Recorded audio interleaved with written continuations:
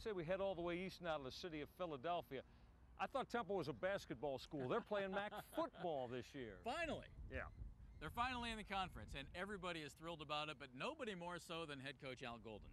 In, in simple terms, he now has something that his players can play for. Al says it's a conference championship, and that's the way they have to look at things right now.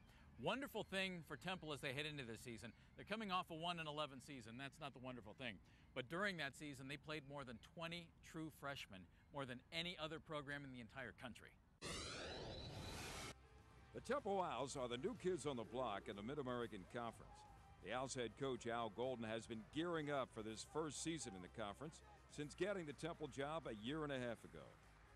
You're talking about a conference that uh, sent four programs to a bowl game, doing the things that we have to do to, to try to, to, to, win our East Division and have an opportunity to win the title um, is uh, tremendous for our program day in and day out. The Owls are young, very young. For example, the defense is comprised of all underclassmen, and the same for most of the offense. The, most of the guys that are here now are a product of, of my coaching staff and of our philosophy and our, in, in our programs. From an inexperienced standpoint, um, it will only impact uh, our team if we let it. At the center of the offensive line, the Owls feature a preseason all-conference player in junior Alex Derenthal.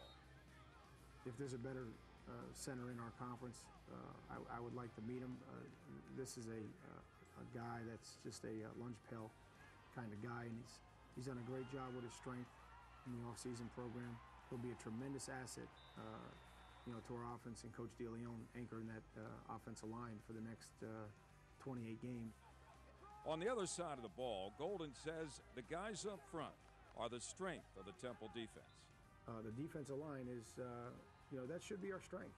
You know, and that's our challenge to those guys every day. Uh, we should be able to play eight guys uh, in the ball game, a minimum of eight guys in the ball game, and I think that's the fight right now, and that's the competition. What's been the offseason goal for Al Golden and his staff, anticipating the Owls' first season in the MAC? Can we match the passion, the pride, and the toughness of the MAC conference. And that, that, to me is the biggest thing that we have to get across to our, our, our, team. The man who brings the excitement to Temple football, Travis Shelton, wide receiver kickoff returner. As a receiver, 20 catches over 300 yards, 17.2 yards a catch and three touchdowns.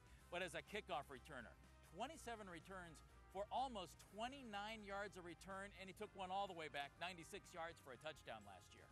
Obviously, he has uh, rare talent. And, and, but the question is now, will he develop as a full-time starter at wide receiver, uh, and will he continue to do what he did on special teams last year for us? That's that's what that's what remains to be seen for Travis. But uh, obviously, he, he has a bright future. Coincidence here, Michael.